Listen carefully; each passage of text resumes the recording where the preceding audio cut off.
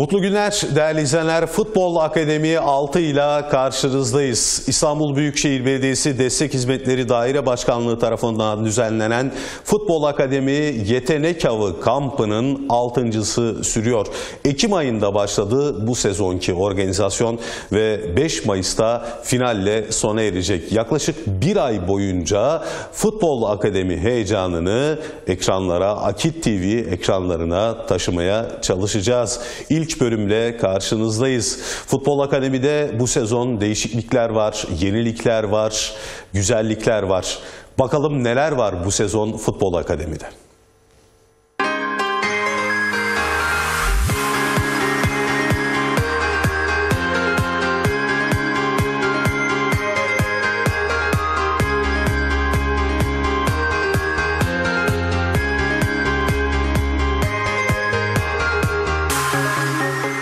İstanbul Büyükşehir Belediyesi Destek Hizmetleri Daire Başkanlığı tarafından düzenlenen Futbol Akademi Kampı projesinin altıncısı 30 Ekim 2017 tarihinde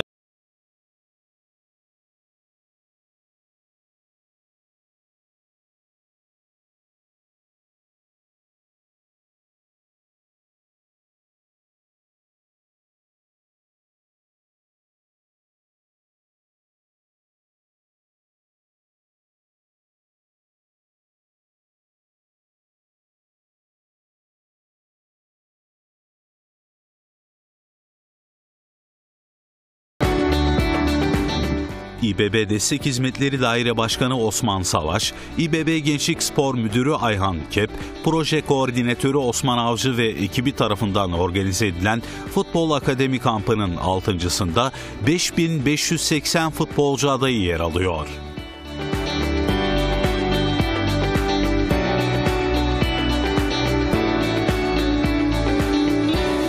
5 Mayıs'ta sona erecek organizasyona katılan 10 yaş ve 6 ile 11-15 yaş aralığındaki çocuklar sadece futbol eğitimi almıyor. İstanbul Büyükşehir Belediyesi'nin 24 tesisinde düzenlenen Futbol Akademi kampında spor ahlakı ve kültürü başlığı altında çocuklar ve ailelerine uzman spor adamları ve akademisyenler tarafından değerler eğitimi de veriliyor. Yemek yediğimiz zaman doyduğumuzu hissederiz. Ama suda yutak açıldıktan sonra mide kapakçığı da açılır ve midenin içi dolana kadar doygunluk hissi vermez.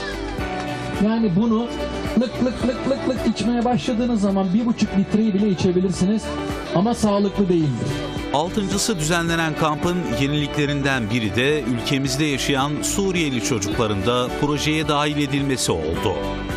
Adım Cemal, soyadım Delal. Suriyeliyim. Ne zaman geldiniz Türkiye'ye? Ha, 2000, 2015. Her çocuk için birer fidanın dikildiği Hatıra Ormanı organizasyonu da devam ediyor. Yaklaşık 5000 fidan bugüne kadar çocuklarımız adına diktiğimiz Anadolu ve Avrupa yakasında olmak üzere. Daha öncekini Çatalca, Çatalca tarafında dikmiştik. Bunu da Anadolu yakasında Pendik'te dikiyoruz.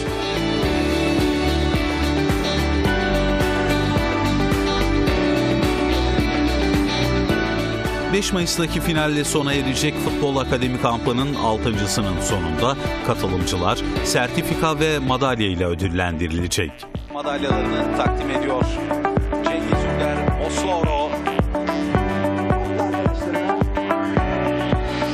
Baskılı olan taraf Avrupa yakası. Final maçında seçilecek olan yetenekli çocuklarsa projenin paydaşlarından Medipol Başakşehir Kulübü ile pilot takımlarının altyapısına kazandırılacak.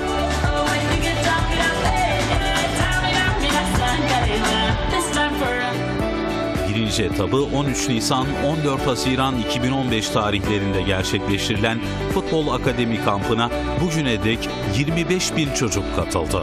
444 futbolcu adayı geleceğin yeteneği olarak altyapılara kazandırıldı.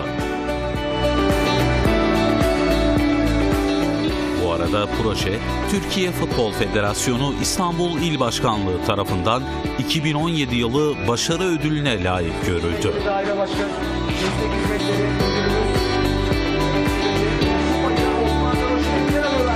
Evet, kupası kupasını alıyor.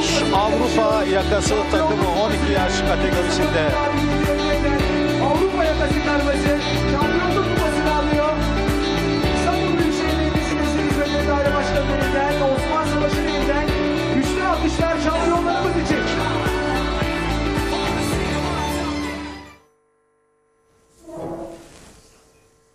Değerli izleyenler Futbol Akademi 6'nın ilk bölümünde sizleri şimdi İstanbul Büyükşehir Belediyesi'nin Edirne Kapı'daki Kale Spor Tesislerine götüreceğiz.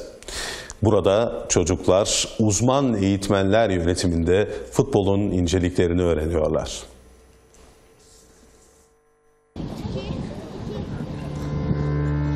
İstanbul Büyükşehir Belediyesi'nin Edirne Kapı'daki Kale Spor tesislerindeyiz.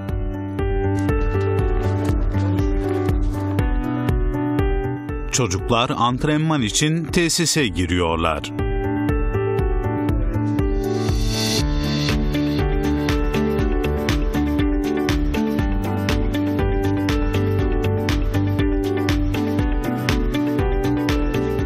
Soyunma odasında son hazırlıklar yapıldıktan sonra futbol eğitmeni Furkan Çerkezoğlu çocuklara antrenman programını anlatıyor.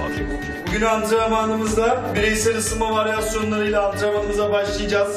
Temel top teknikleriyle ısınmaya devam edeceğiz. Kuvvet antrenmanımız olacak. Daha sonrasında kombine pas çalışmamız. Bunda biliyorsunuz pas şiddeti, pas isabeti ve pas gizliliği çok önemliydi. Bir şut çalışması yapacağız ve soğuma yapıp antrenmanımızı bitireceğiz. Anlaştık? Evet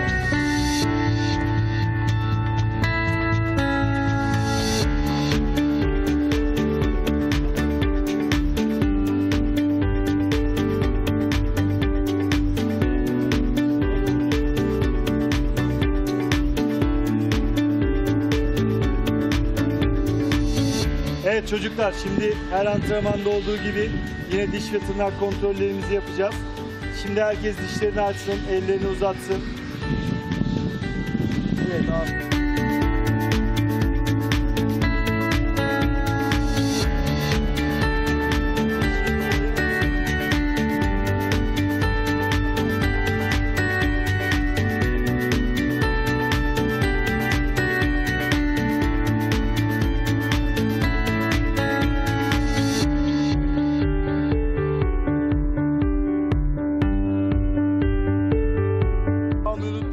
Çocuklar bir saat süren antrenmanda hocalarından futbolun inceliklerini öğreniyorlar. Evet, o zaman çalışmanın esnasında, çalışmayı yaparken bunlara dikkat ediyoruz, tamam mı? Çevre kontrolünü yapıyoruz, kafayı kaldırıyoruz değil mi? Tabii sadece amaç futbol değil. Biz burada çocukların hayatlarına dokunmaya çalışıyoruz.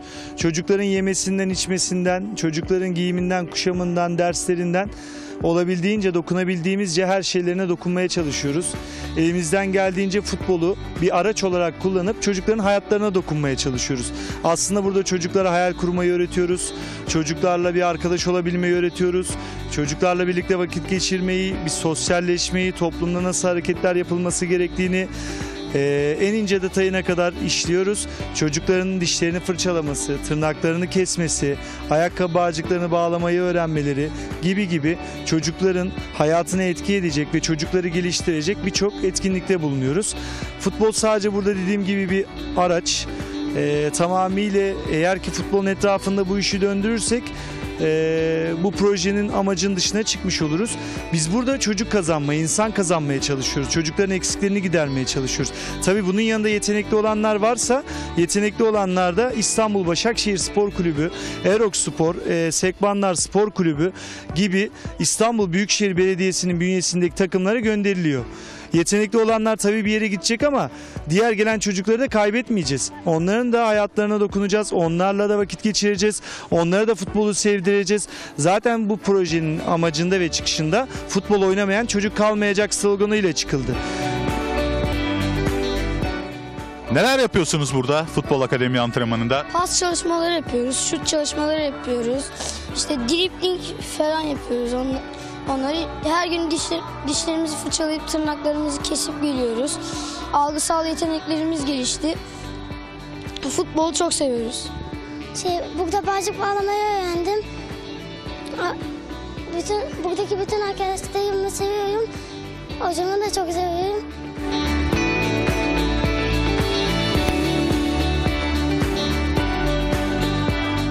Peki zorlanıyor musun e, futbolla dersleri götürmekte? Zorlanmıyorum. Neler öğrendin burada yani sana e, neler kattı diyelim? Pas çalışması kattı. Şutlarım daha sertleşti. Ve dribling çalışmalarım oldu. Hangi mevkide oynuyorsun? Forvet. Gollerin var mı peki?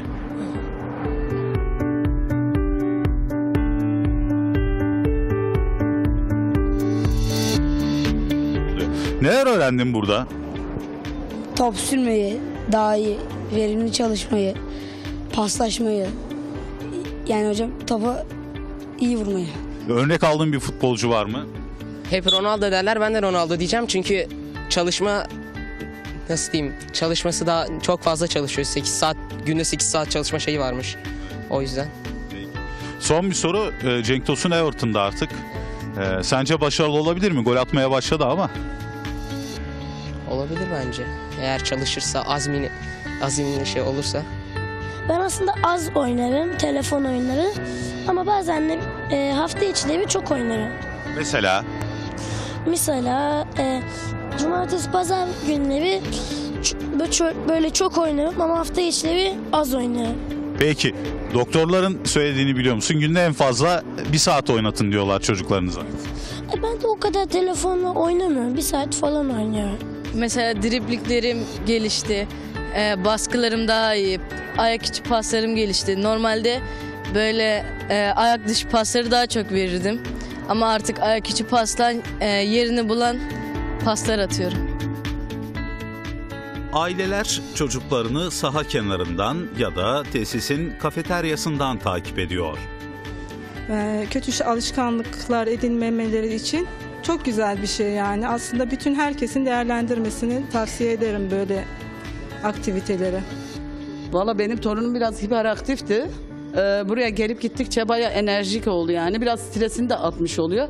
Ee, okulumuzda biraz etkileme oluyor. Çünkü biz okuldan çıkıp hemen anında buraya gelmek zorunda kalıyoruz. Ama neyse ki memnun geliyoruz yani. Hiç sıkıntı çekmiyoruz. İsteyerek geliyoruz kendisi. Anne anne hadi geç kaldık gidelim diyerek. olan tesisle ilgili bilgileri futbol eğitmeni Furkan Çerkezoğlu aktarıyor. Tesisimizde yeterince soğuma, soyunma odaları var.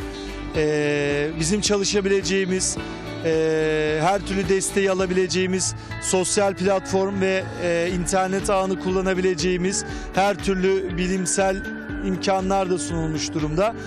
Ee, ondan ziyade çocuklar antrenmana geldiğinde duşlarını alabiliyorlar.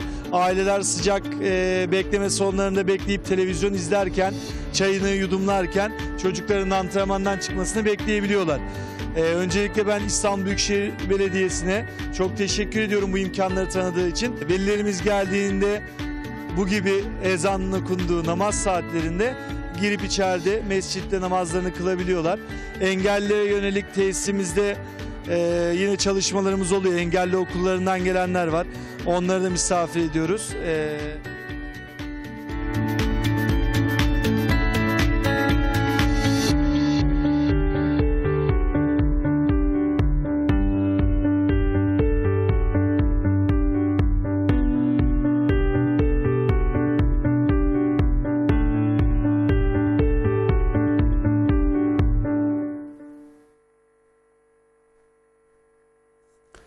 Değerli izleyenler Futbol Akademi 6'nın ilk bölümünün sonuna geliyoruz. Haftaya ikinci bölümle karşınızda olmak dileğiyle mutlu günler diliyoruz. Bu arada bir hatırlatma yapalım. Az sonra Akit TV'de Spor Aktüel ekranlara gelecek. Tekrar birlikte olmak dileğiyle hoşçakalın.